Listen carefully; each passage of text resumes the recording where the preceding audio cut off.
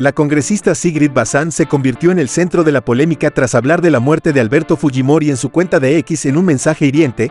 La legisladora calificó al expresidente de asesino y corrupto.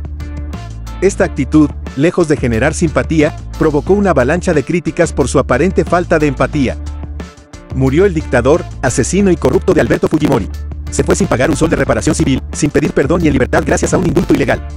Su legado de corrupción, violaciones de derechos humanos y autoritarismo no se borran con su muerte, escribió la legisladora en un mensaje que llenó de polémica en los internautas. Todavía quedan muchísimas investigaciones abiertas. Esto sería bueno también aclarar cómo va a hacerse el seguimiento de estas investigaciones. Eh, y para nosotros en realidad eh, y hay que decirlo, ¿no? Las críticas que hemos recibido por decir la verdad, cosa que no son opiniones, cosa que no son sentimientos, son hechos. Los delitos de una persona no se borran con el fallecimiento de una persona.